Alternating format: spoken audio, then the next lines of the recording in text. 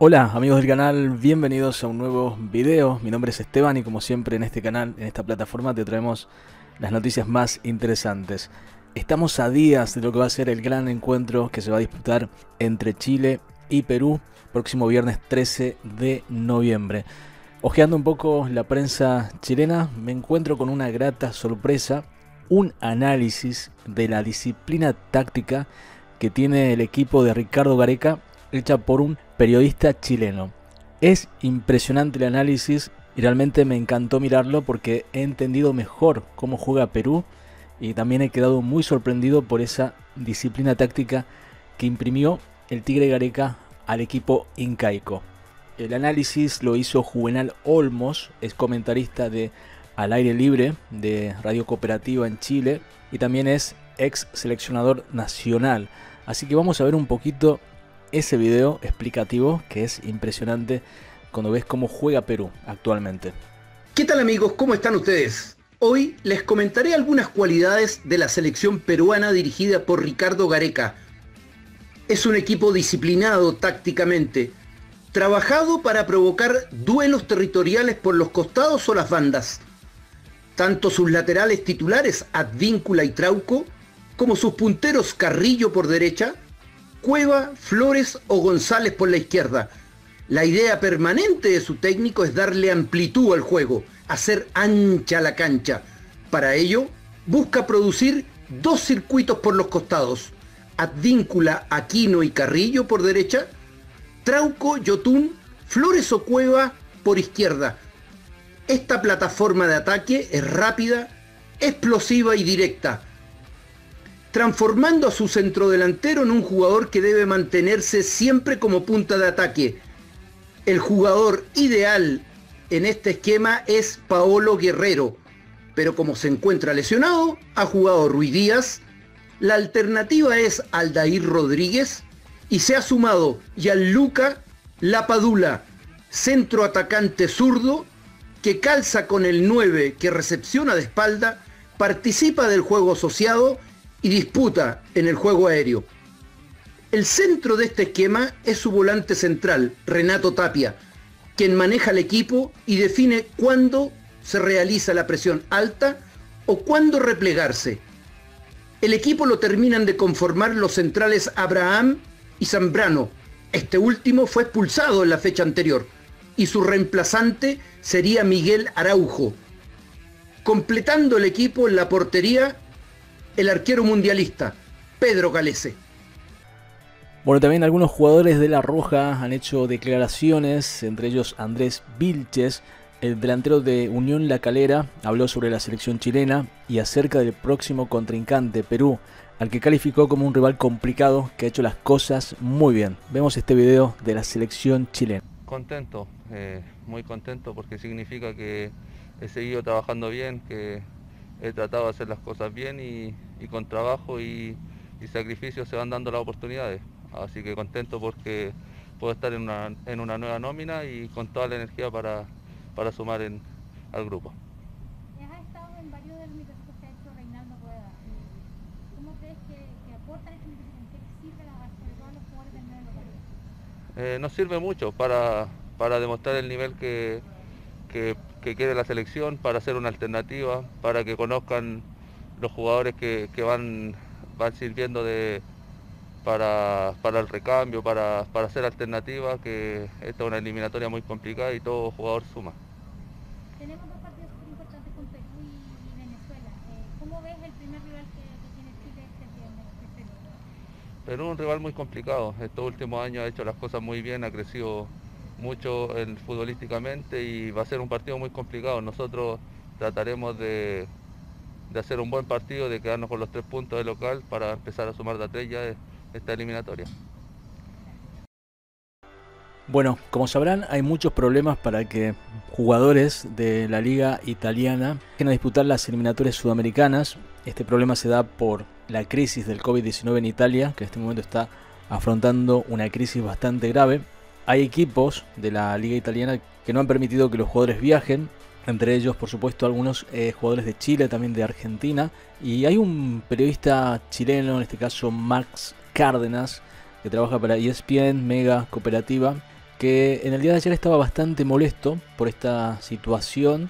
Eh, vemos un tweet del día de ayer donde dice Gianluca Lapadula, el seleccionado peruano, ya está viajando desde Italia, juega en el Benevento.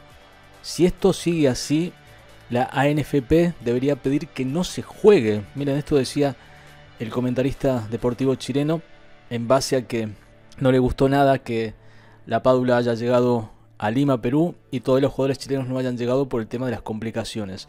Bueno, el tuit siguiente fue exclusiva, Alexis Sánchez y Arturo Vidal sí están autorizados a viajar. Eh, les contamos los detalles de por qué ellos sí y Pulgar no en ESPN Chile.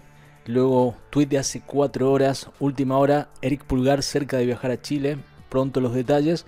Y el último tuit de hace unas horas dice, habrá que esperar, no pudo volar Eric, problemas en el aeropuerto, mañana lo volverá a intentar les seguimos informando. Bueno, esa es la última hora entonces que Eric Pulgar realmente no pudo abordar el avión y va a volverlo a intentar mañana de viajar hacia Santiago de Chile para disputar ese encuentro en una situación bastante compleja que se está viviendo también en el fútbol italiano por los casos de COVID que se han detectado en los últimos días en algunos equipos de la liga italiana. Vamos ahora al gráfico de Chile que dice Gianluca Lapadula la amenaza italiana de la Roja que divide a Perú. Acá somos un poco resentidos. El extracto que ellos sacan de la prensa peruana. El nacido en Turín, hijo de madre peruana, nunca había pisado suelo incaico, pero fue citado por el partido ante Chile. El delantero de Benevento de 30 años todavía genera resistencia en parte del medio local, por lo que pretende demostrar su valía. En el 2016, una calurosa discusión se tomó la prensa deportiva de Perú el periodista Silvio Mendoza encaró en pleno programa televisivo al exfutbolista Johan Fano, quien pedía no rogarle a Gianluca Lapadula para que juegue por la selección incaica, generando un recordado trending topic, respeten a Lapadula. Esa es la verdad, yo no, yo no puedo estar pendiente de un jugador para que vista una casaquilla. Esta camiseta no es la camiseta de un equipo que tienes o no tienes varias ofertas, es la camiseta de un país y la camiseta de un país es sagrada, para mí es sagrada. Y si tú tienes la convicción de que existe un jugador, en este caso usted, señor Lapadula, que le está yendo bien en la segunda división de Italia, y que ha ido el mismo profesor Gareca a invitarlo a que sea parte de este proyecto, de estas eliminatorias, bienvenido sea. Pero no podemos estar eh, dándole tiempo a alguien para que lo piense, para que lo actúe porque las decisiones y las posibilidades se presentan solamente una vez. Eh, señor Fano, señor Fano. Estar en, la selección. Señor Fano. No, no, sí, dígame. Eh, lo saluda Valencia. ¿Usted sabe, eh, usted tiene periódico en su casa, sabe qué cosa es internet? Sí, ¿por qué? Porque la, la, la Padula, señor, para que usted aprenda, la Padula nunca vino al Perú. La Padula tiene que pensar una decisión. Y usted no puede salir alegremente, alegremente a decirle a la Padula, porque le pregunto, ¿quién es usted para decirle eso a la, Padula? La Padula es un hombre que en Italia se ha hecho un nombre. La Padula se ha hecho un nombre. O sea, y no puede un tipo como usted decirle que, o sea, ¿usted cree que la Padula está jugando con Perú? Yo, yo solamente le pregunto, pónganse en lugar de usted de la Padula. La Padula es un chico que sabe que puede jugar por Italia o por Perú. Y usted alegremente no puede salir a, decirle la padula no juega. A mí me parece que tan fácil no lo es. A ver, a ver, a ver, un momento. En ningún momento yo no he dicho que. No, no, usted, usted, le está faltando el respeto a la Padula. La, Padula juega en Europa. Usted nunca jugó en Europa. Usted nunca jugó en Europa. Y ni va a jugar en Europa. Respete a la Padula. Respételo a la Padula. Usted, usted está faltando el respeto a la Padula. Primero a usted yo lo conozco, no sé ni quién es usted. Yo tampoco no sé quién es, quién, quién, es usted, porque le falta el respeto a la padula. usted, usted le falta el respeto a la, padula. Estoy faltando el respeto a usted le Señor, usted, usted ya está acabando su carrera futbolística. Usted su carrera la está acabando ya. o si no la sabe interpretar, pues no es mi culpa que no No, no, no, señor. Señor, respételo a la padula. Al que en ningún momento yo no, yo no he hablado mal de ese chico porque primero ni lo conozco ni sé quién es. Él tampoco lo conoce a usted, ¿ah? Él tampoco lo conoce a usted. Él tampoco no sabe quién es usted. Bueno, si usted va a hablar, entonces mejor hable usted, yo no hablo. No, pues, porque re- respeto guardan respeto. Respételo a la es que Yo no Padula. le estoy faltando el respeto a usted, ni le he faltado respeto a nadie de ellos. A la Padula le ha faltado el Padula. respeto. Usted Yo le ha faltado el respeto a la Padula. Y si escuche, bueno, entonces hable usted, entonces yo no hablo.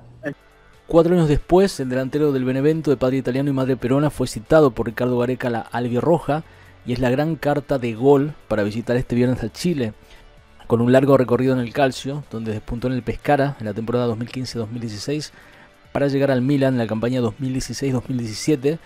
Fue llamado a la Azzurra, pero no alcanzó a jugar oficialmente, por lo que el trámite para que se ponga esta semana a las órdenes del Tigre fue bastante expedito.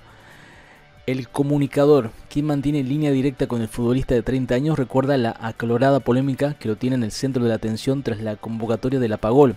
Acá somos un poco resentidos con un chico que viene haciendo las cosas bien. A mí me parece que nos va a ayudar. Nosotros no podemos retasear a los poquitos jugadores que tenemos, explica. El profesional de la prensa cuenta que el atacante que hizo las inferiores en la Juventus aún genera cierta división en el medio. Si todavía hay algunos acá que lo resisten, dicen que porque no nos aceptó desde un primer momento, analizan por qué a esta edad nos prefiere. Hay mucho resentimiento tonto. Bueno, ahí está entonces eh, que la prensa chilena se hace eco de esta polémica en un medio peruano y hablan de la división que existe en la sociedad sobre la convocatoria de Gianluca Lapadula. Para la gente de Perú, piensan que esto es así, que hay división en la sociedad o no, o realmente no es así como lo expresa en este caso este fragmento de la prensa peruana y también por supuesto en la prensa chilena con este artículo eh, publicado en el periódico El Gráfico de Chile. Bueno señores, esa es la actualidad de momento, eso es lo que se está analizando a días de lo que va a ser un nuevo encuentro de las eliminatorias sudamericanas 2020. Los espero en un próximo video, recuerda dejarme tu opinión ahí en la sección de comentarios. Chau chau.